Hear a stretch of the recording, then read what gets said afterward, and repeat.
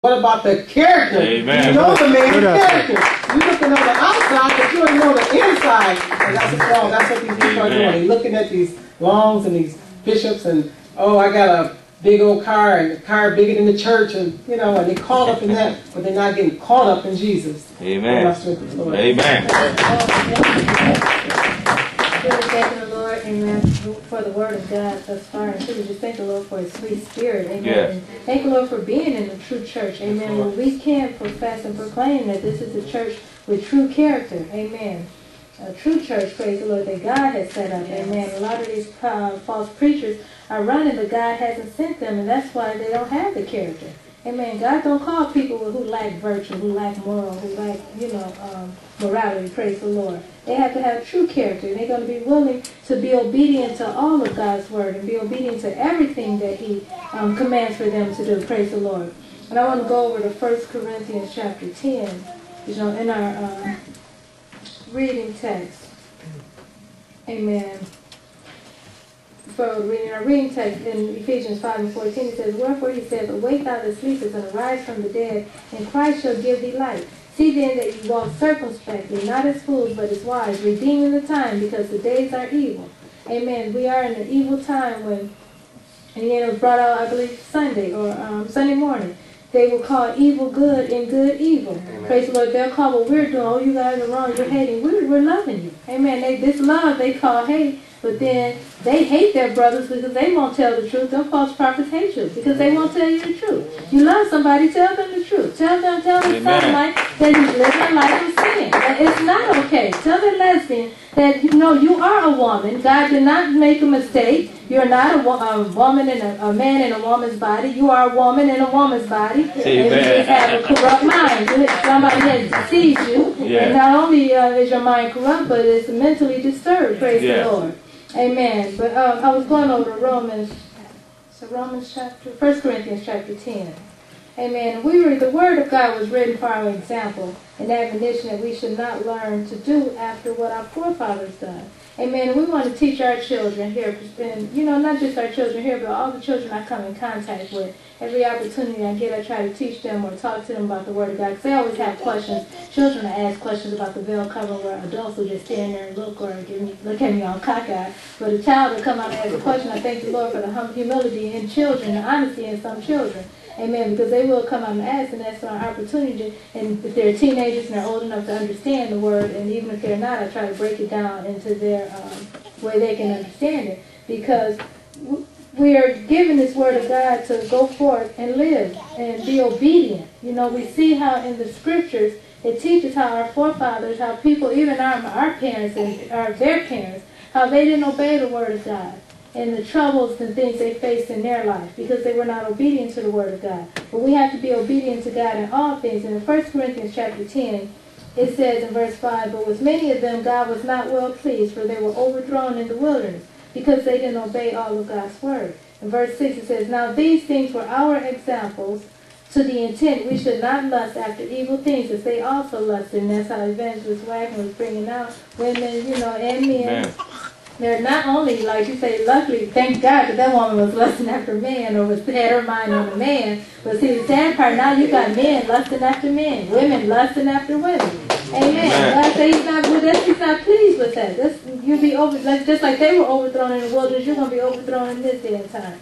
Now these things were our example to the intent we should not lust after evil things as they also lusted. Neither be ye idolaters as were some of them, as it is written, the people sat down to eat and drink and rose up to play. Neither let us commit fornication as some of them committed and fell in one day three and twenty thousand. Neither let us tempt Christ as some of them also tempted and were destroyed of serpents. Neither murmur ye, as some of them also murmured and were destroyed of the destroyer. Now all these things happened unto them for an example, and they were written for our admonition, upon whom the ends of the world are come.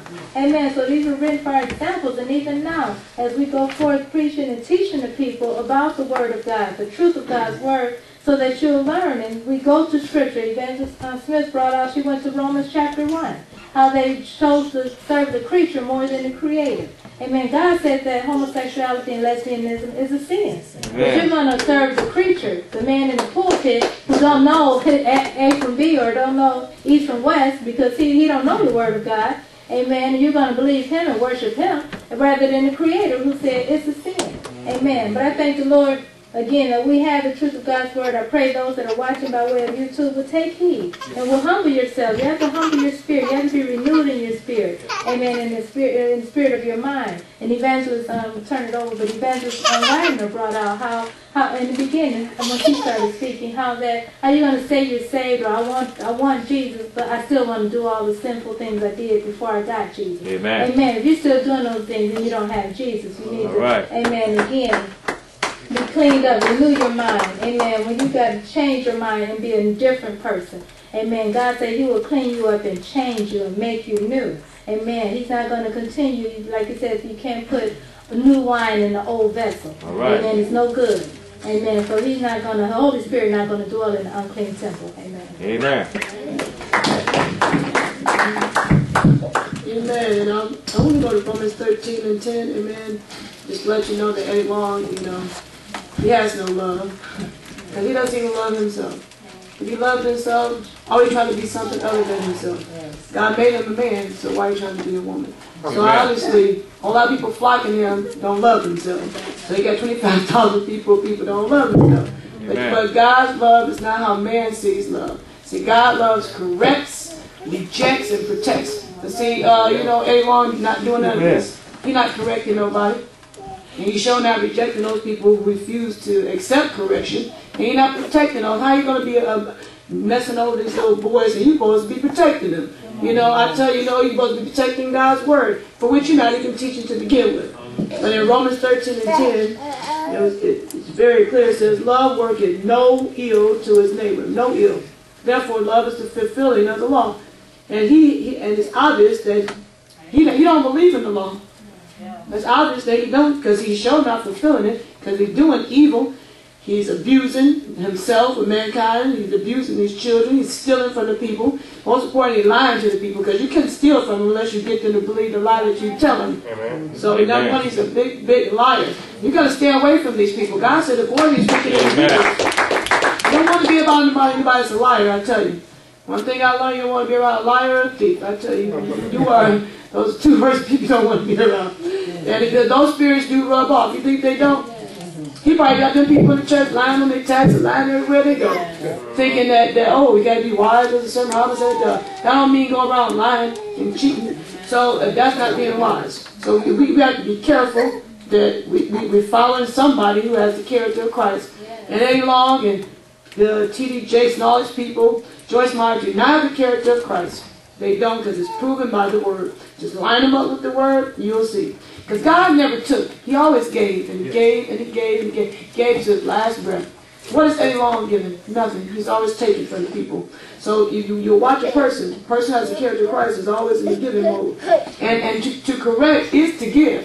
That, that's tough love on it when you can correct somebody. And, you, and you're not going back down. That's the problem with these children today. Because the parents want to be the children's friends. That's the problem today. And it, it, it, it's perpetuating itself all into the true church. Want to be friends with them. You know, a pastor not to be a friend with their congregation. He's supposed to be an overseer and leader like, like, a, like a father figure. You know? Yeah. And that's why I hate all these children's trust has been tampered with now. God's going to have to really do a great thing in them for them to restore trust. You know, which is a basic human need that you need to, to get you back to God because we've been separated from Him. You need that trust come back to God. You know, so I, I really can't stand an individual like that. Can't pray for them because they don't want to be prayed for. But uh, if they want to humble themselves and they want to repent, that's on them. But I ain't going to get in the way. That's between them and God. So I tell you, sometimes you go too far, you can't come back. Because in the Bible, he said, uh, he was praying for that he get his hearings back. He said it was too late. And sometimes it is too late for certain individuals because they're going too far. But for the people that are in this congregation, it's not too late for you yet, hopefully. Unless maybe half of the men in there are homosexuals too.